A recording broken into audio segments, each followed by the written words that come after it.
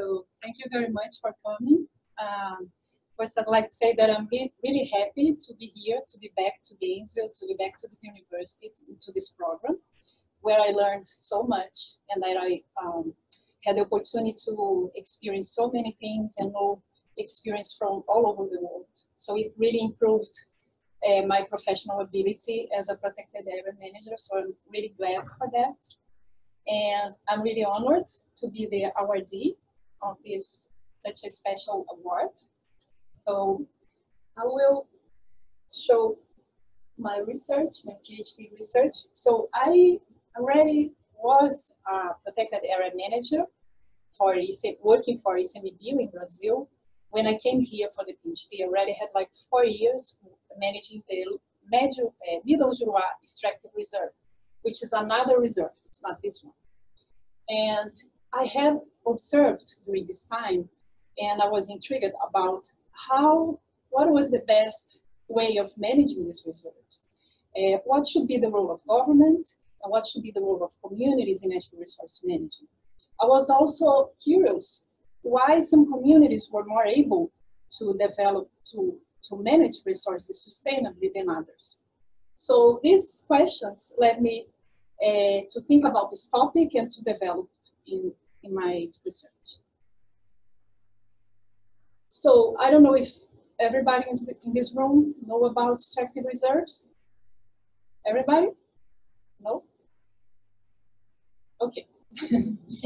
uh, so the extractive reserves were an innovative model of protected area in Brazil that was created and conceived by the rubber tapper social movement in the 90s. And it was different because different from the other protected areas that were created by the government. And in general, they took out people from these areas. These reserves, they were conceived by the people and they were created to guarantee land rights for them and also to conserve natural resources uh, on which they depended upon. Um, and at that time, they conceived a mod model of self-management of this territory uh, that would be collectively managed by the communities, but in a way similar, uh, similar as the indigenous tribes, where the government concedes the land to the people, but they have much more autonomy to manage resources. So in 2000 in Brazil, we had uh, the national system of conservation units, where the the extractive reserves were institutionalized as protected as other protected areas. And this led to a shift from the self-management model to a co-managed mod model with the government. And so uh, two things, two innovations happened. So after 2000, these reserves that once were managed by the communities with only rules made by them, built by them. Uh, now they will have to have a management plan that is made with local scientists. They consider local rules, but mostly they have the scientific input. And also, it created this forum, this deliberative council forum, that is like a, a, a decision-making uh, board where they have to share uh, decision making with other actors, government, uh, NGOs, the private sector, but communities also have seat on this council. So this made um, the grassroots organizations uh, feel that they were disempowered by this by this institutionalization, and also uh, researchers on extractive reserves also pointed out that they felt uh, that they really uh, were disempowered. So this was something that I wanted to look at. And so these new arrangements, the management plan and the deliberative council, they brought new challenges to the incorporation of local knowledge into managing, and management and governance of natural resources in these areas, and also to ensure local participation in decision making. So the goal of my dissertation was to examine the share of authority in the co-management of the Brazilian Amazon extractive reserves uh, from the government to communities, and also uh, to understand the implications of it to natural resource management and conservation. So I was interested to look at why people engage in collective action for managing resources once they have uh, authority to do that, to, to decide upon resources, and also what, what um, factors lead to sustainable resource management. So I use the Pirarucu or Arapaima, that is the most famous common name, uh, management as case study. Uh, this is a very big fish that is endemic to the Brazilian Amazon, to the Brazil, to the Amazon, sorry. Not everything is Brazil, right? so, um, so this is the largest uh, scaled fish, freshwater fish in the world. It can uh, can have up to three meters and 200 kilos, so it's a huge uh, fish. Uh, it's a large predator, predator. Uh, it has an interesting characteristic that it has to go air at regular intervals uh, at the surface. So the more experienced fishers, they know how to recognize uh, these, these animals and differentiate individuals and those who are young by the size and those who are adults, sometimes males and females. So there is a lot of traditional ecological knowledge on the pirarucu fishery. Uh, and based on that, they, and also there's another characteristic that is the waters, the rivers in the Amazon, they fluctuate up to 12 meters from the uh, dry to the wet season. And the fish, they, uh, they follow these dynamics and they get, they remain in, this, in these lakes when the waters are low. So they can be counted in the lakes. So uh, scientists with uh, experienced fishermen they developed a count method who showed to be accurate and was published, tested and published this method. And this gave uh, the basis for the government to set management quotas to the communities that were involved in managing and protecting those lakes. So this fish has a very high ecological, economic, and cultural value. So it's, uh, it was overfished in many areas. Some areas uh, suffered uh, local extinctions, and it was really depleted before management being uh, implemented. After management, today, nowadays, we have uh, manage, management of pirarucu in many places of the Brazilian Amazon and abroad in other countries as well. And we see after this management started that the populations really increased after that. Um, and it's considered by UCN Red List as data deficient because of this. Um, that was depleted, but now it, it seems to be in a better position, better situation. So uh, why I chose the pirarucu management, I think you already can understand more, but uh, so this was an interesting case where many, that was a resource that was completely controlled by the government before management started. And the populations were low and depleted in most sites. And after people having management authority over this fishery, they could, because this fish eh, is pro prohibited to be uh, extracted outside management areas all over the year in Amazonas, in some states, some uh, just on the reproductive um, time. time. Uh, so people could not uh, legally fish, the population, populations were depleted, but, and the government could not control it. And once it shifted to a more inclusive uh, approach, the populations started to really increase. And these animals are, uh, fishers say that these animals are uh, sensitive to disturbance. So if they follow the rules for protecting the lakes, the rules that they make to protect and govern these lakes, there is a, um, in general, the fish will be there because they feel that there is a safe place to be. Uh, also, this, uh, this is an ecosystem-based approach because you do not you do not conserve and look only on the fish. The fish is just one species that is protected once the whole system is protected by the communities. So everybody's like a positive, positive. How do you say that? Huh? win-win solution. yeah. um, and it requires a strong community governance. So they really need to because there are a lot of big big boats, large boats uh, because there's a high value in the market.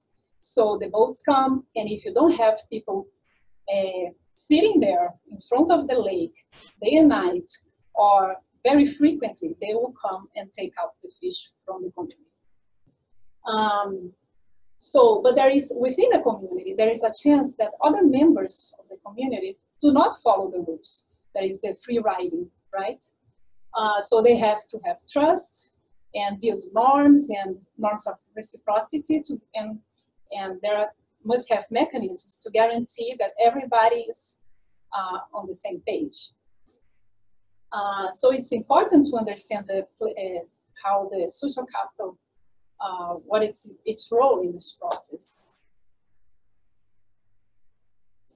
So um, I used Ostrom's framework as the conceptual framework for my dissertation uh, for, for analyzing social ecological systems. So um, the sustainable pirarucu management would be affected by the governance. Is there, is it a pointer? No? Okay. I can do that. Uh, from the governance arrangements, uh, the characteristics of the resource systems will affect the sustainability, characteristics of the resource units, the, of the Pirarucu itself, and of the users, the communities. So in my research question, number one, I wanted to examine the, uh, okay, uh, the extent that co-management, the government co-management shared of management authority to communities and how it affected for the broader uh, resources in extractive reserves.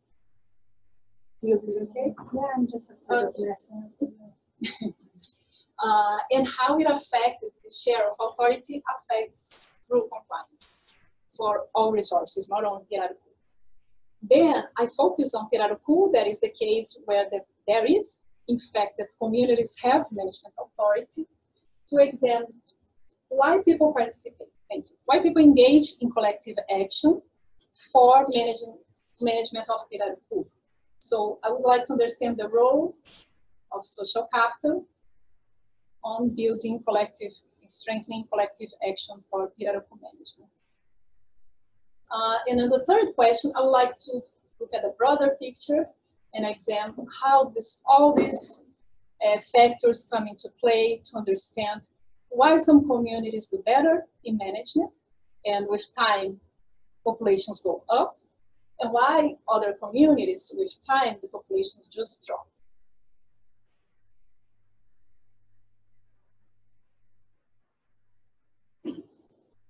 Mm -hmm. It's not moving. Not even outbreak. Ah, there is something open here. Assistente de configuração. Okay.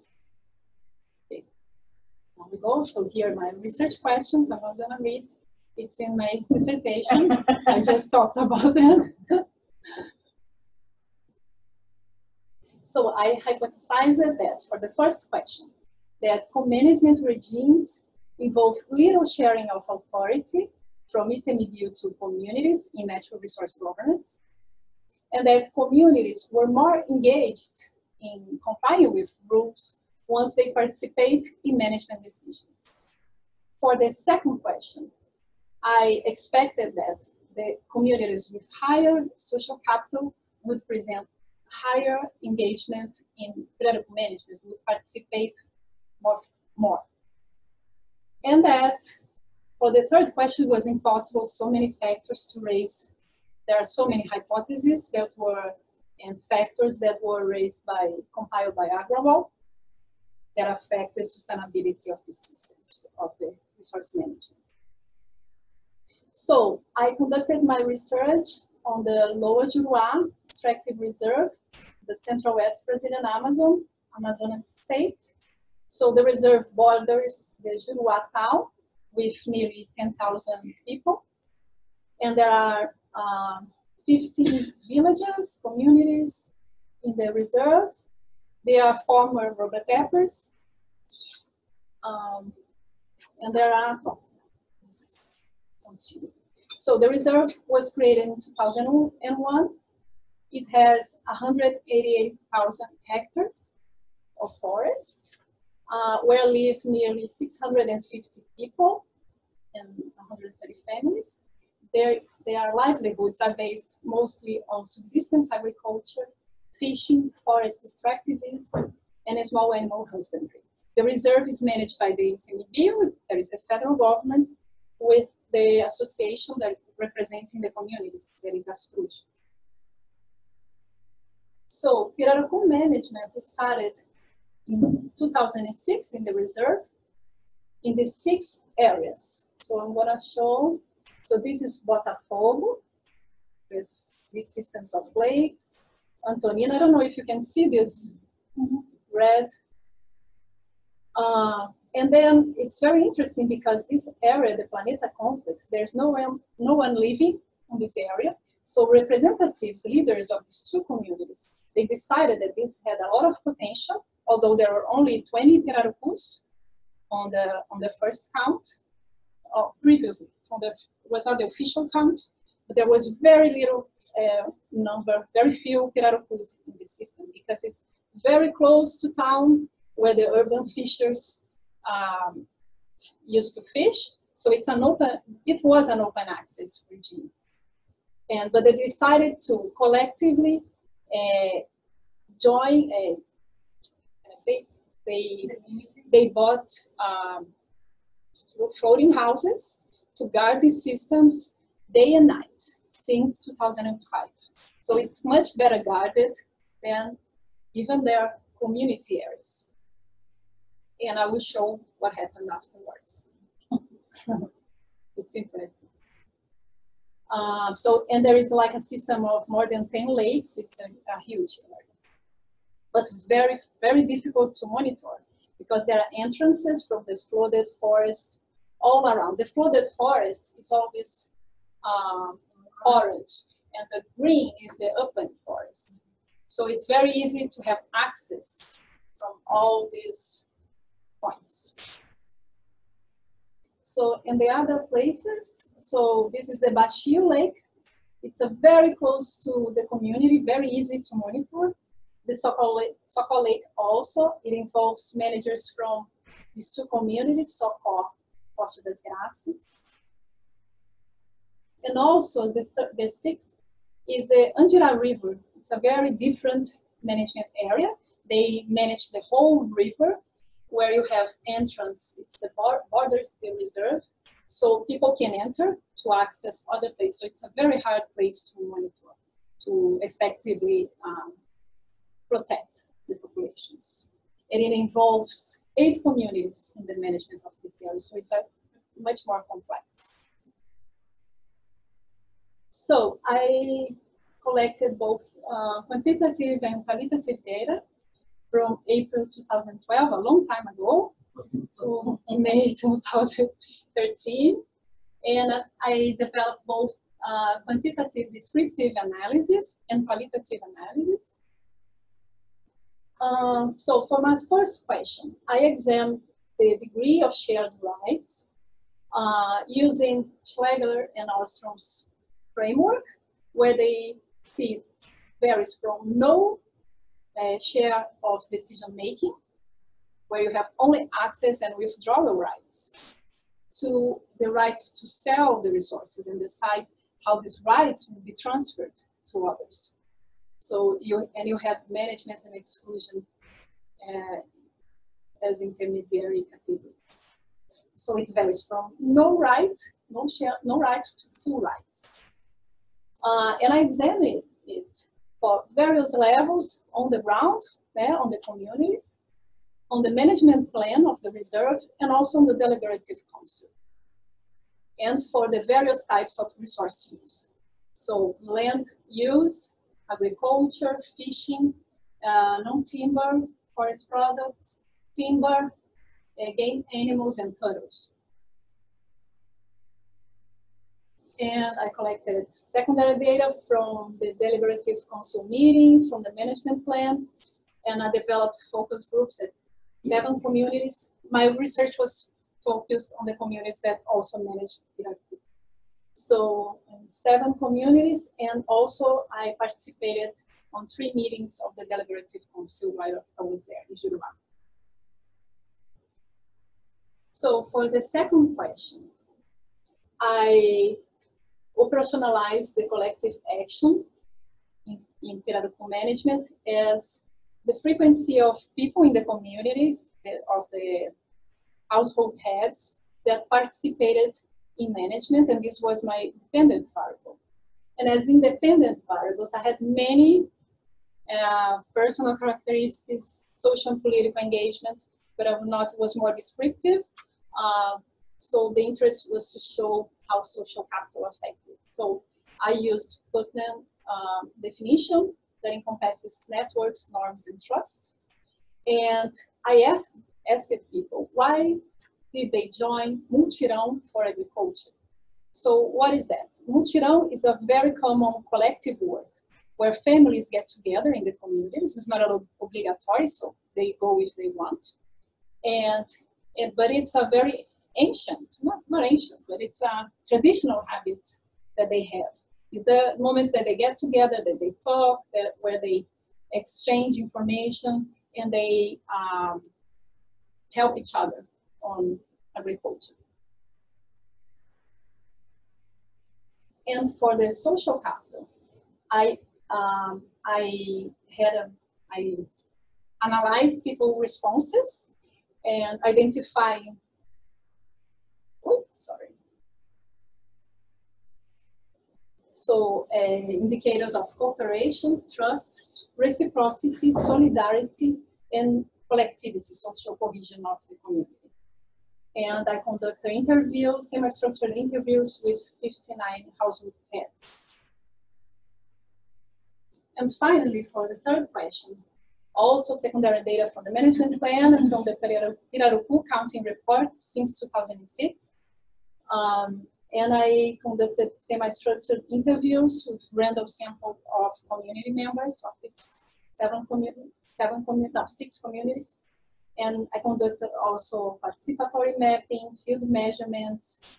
I looked at satellite images to see the area of these lakes, um, community meetings, participant observation of the counting, fishing, and all the process of the Pirarucu management, and also informal conversations.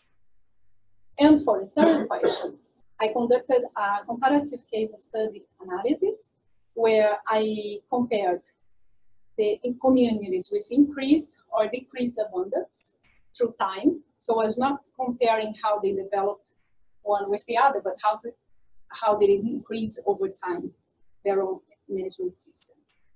Uh, and I, this was my dependent variable, and I compared with multiple factors of resource systems, users, governance, and interactions among these using Ostrom socio-ecological systems framework.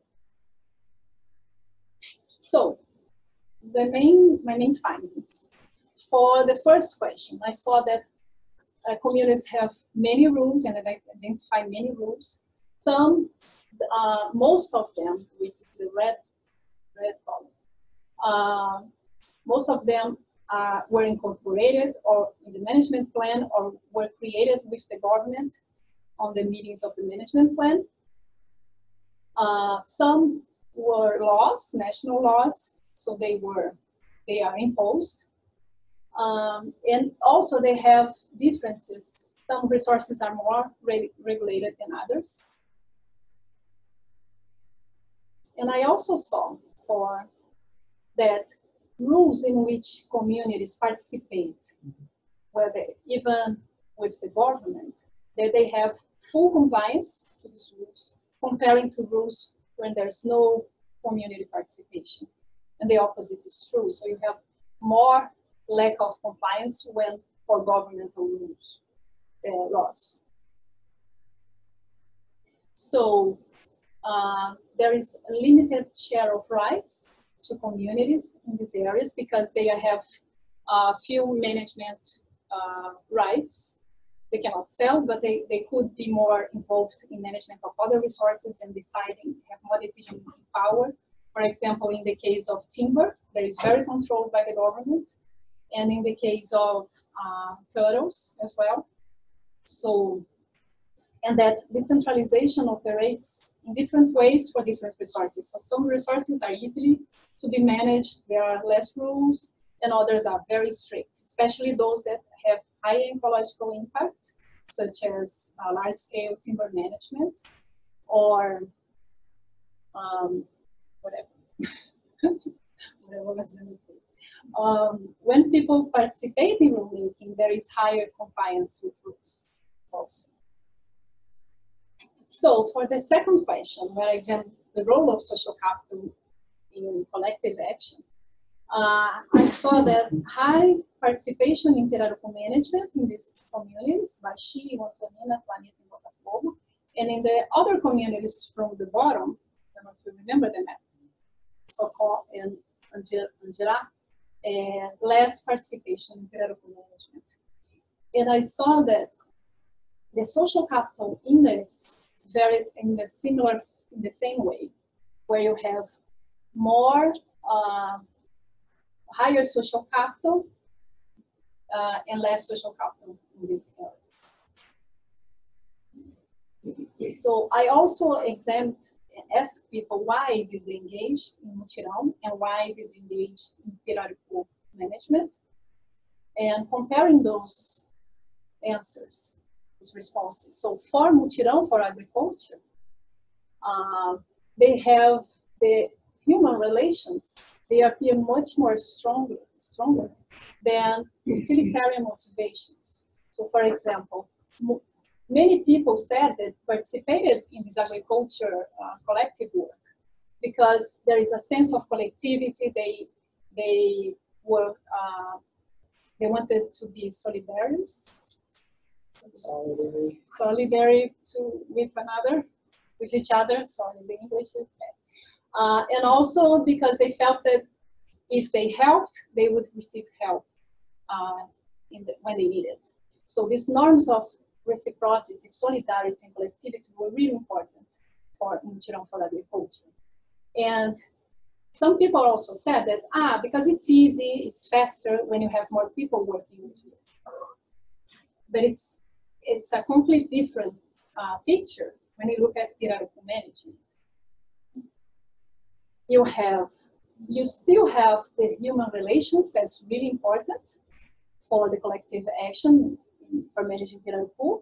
So the sense of collectivity also appeared, but you have much more people saying about the utilitarian motivations that make them engage in it. So income and also natural resource conservation, because once they protect the Pirarucu stocks, they are also protecting other fisheries that are important for their livelihoods. So it's not only about money, it's also about their subsistence. So then comparing these uh, for mutirões, the first for agriculture, you see much more human relations as important for engagement than utilitarian reasons. And for Pirarucu management, the human relations, they appear and are important, but the utilitarian reasons were much more frequently cited. So I found uh, a positive relation between community social capital and collective action for Pirarucu management and the multiple motivations for those. And finally, on the third,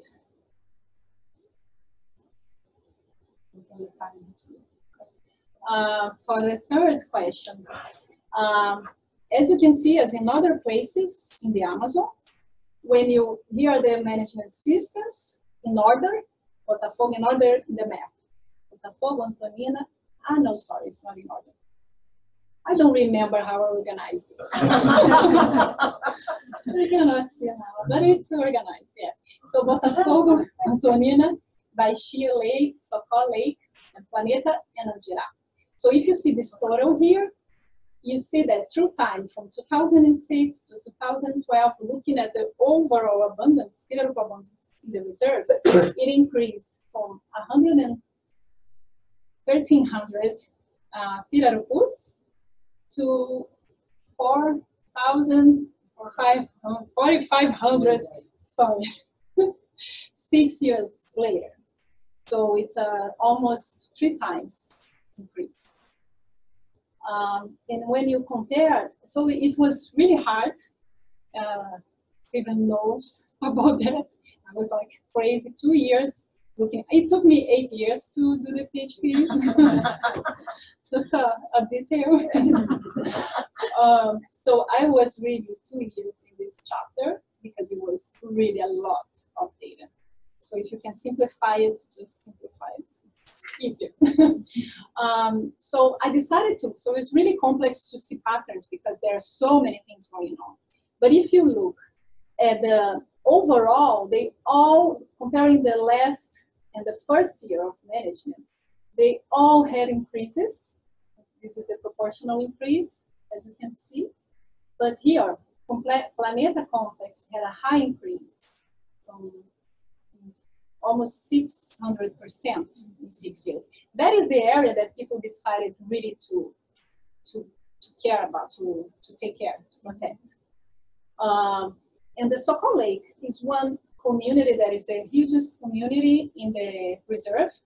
There is a lot of uh, conflicts inside, so the, the community is divided. Some are Protestants, others are Catholics, and there are also other things going on. Uh, some people really are opposed to manage management, so they said that once it started and they were they didn't agree, they decided that they had also the right to fish, but they, they fish outside of the management.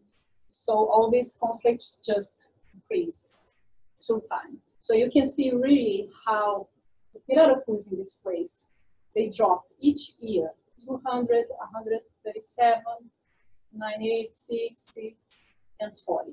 So on the other years, so these years, they decided not to fish anymore, just to protect the lake. Don't fish, to see if the populations would increase. So what I did, I compared to make it more simple, the analysis. I compared the two extreme cases of the Socó Lake, where it decreased abundance, and the Planeta with very increased abundance.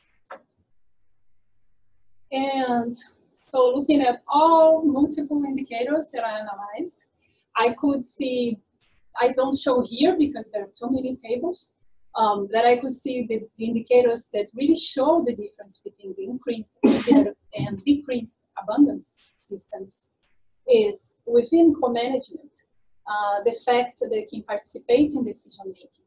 So in the Socó community, they have just people that are members of the association of the community can participate in meetings where they change the rules. So not everybody is allowed to participate and modify the rules in the community uh, where in the Planeta complex, everybody participates in all in all meetings and all uh, opportunities to build and to change these rules. Uh, also, I saw that monitoring is really important because this is the only place, the Planeta complex, when people really are engaged in protection. As I said, they are there day and night for Christmas, for New Year's Eve, for birthday, doesn't matter so every manager, group of managers stay for a week, they, they rotate. So they, they come back like on the other month. Um, and different from the Socó Lake, where they don't go, they, uh, they fish in this lake for subsistence, and they don't, uh, they only see that people invaded and took out the fish uh, when they see the past strength tracks uh, of people from outside. And then they, oh, somebody took, stole our fish, but they do anything to change it.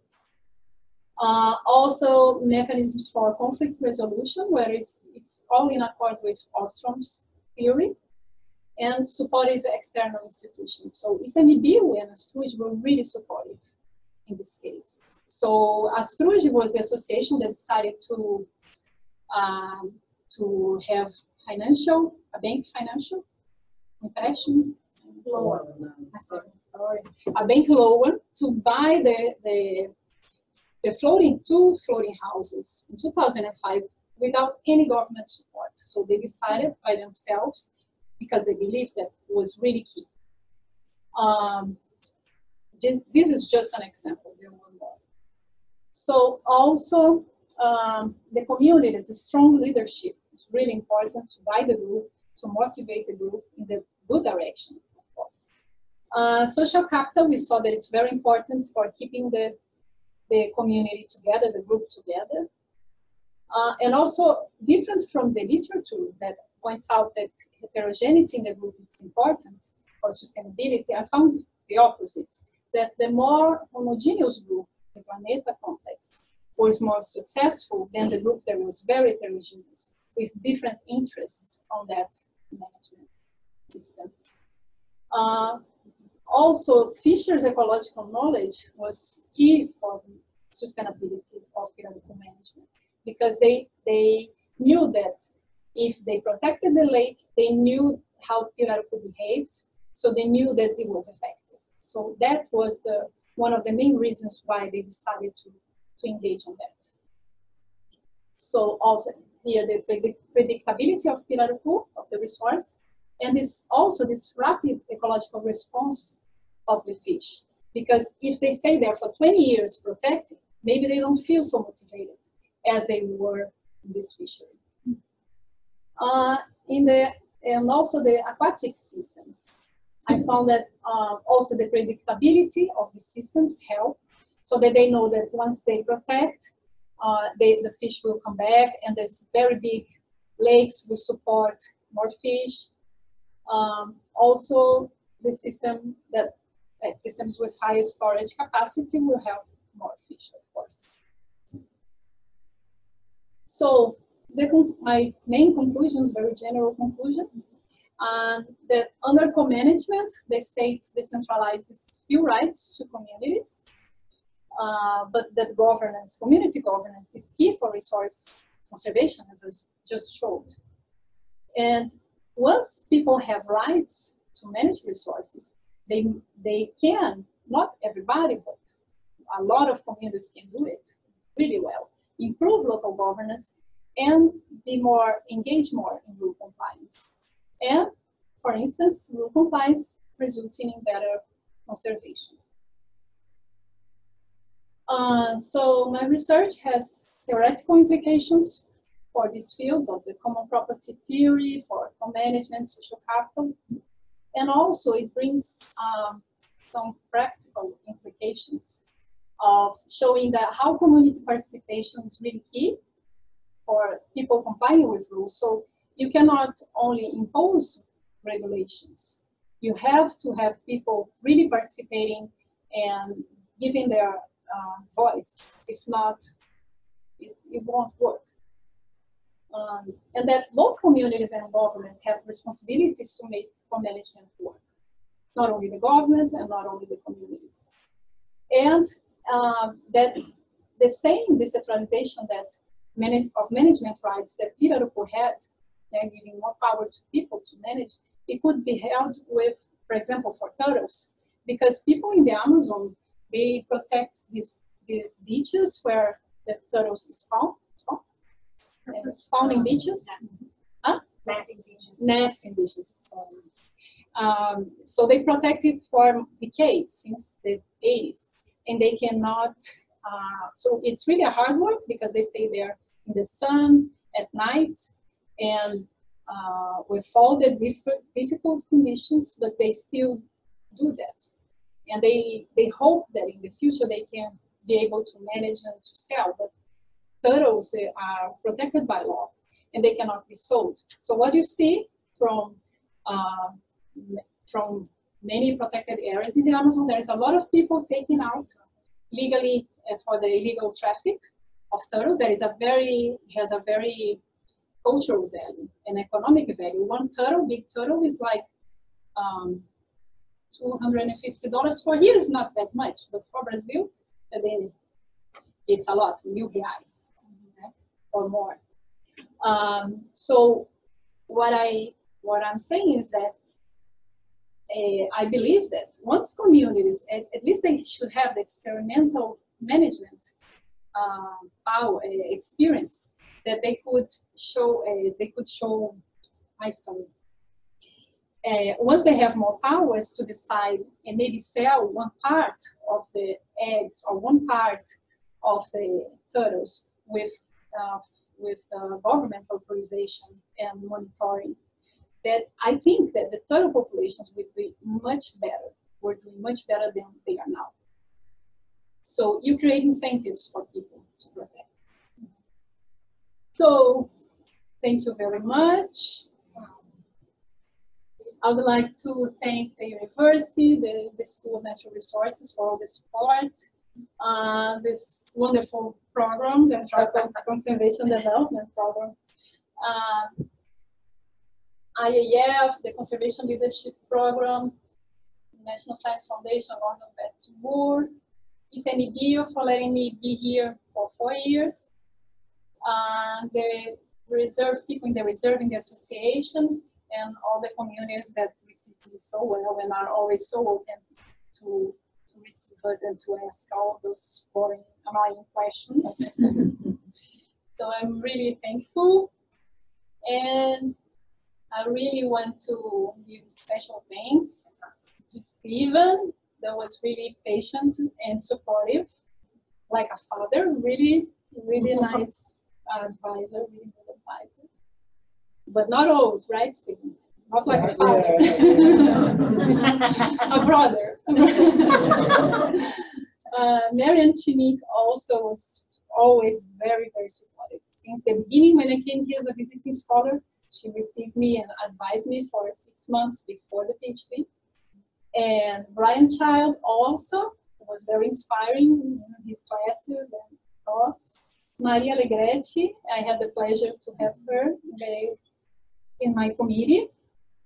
Uh, I also thank Betty for directing this wonderful program and all the support. Patricia, also amazing.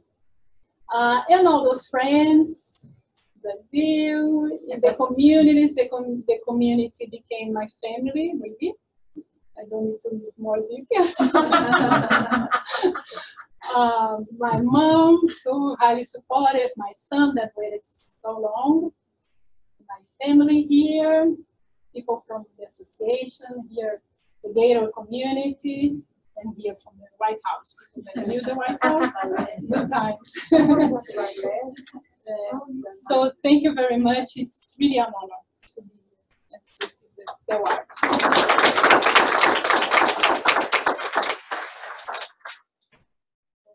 Questions, comments?